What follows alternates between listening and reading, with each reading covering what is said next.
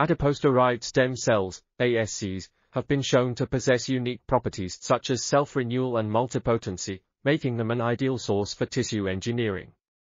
Additionally, they can be obtained from multiple sources and are easier to collect than bone marrow-derived stem cells, BMSCs. Furthermore, three-dimensional, 3D, tissue engineering scaffolds provide a more realistic microenvironment for ASCs, allowing for improved localization, attachment, proliferation, and differentiation. As a result, tissue-engineered ASCs have become increasingly popular for use in regenerative medicine. This review discusses the characteristics of ASCs, as well as the biomaterials and tissue engineering techniques used to create 3D environments for ASCs. Finally, clinical applications of tissue-engineered ASCs are explored to demonstrate their potential and feasibility in regenerative medicine.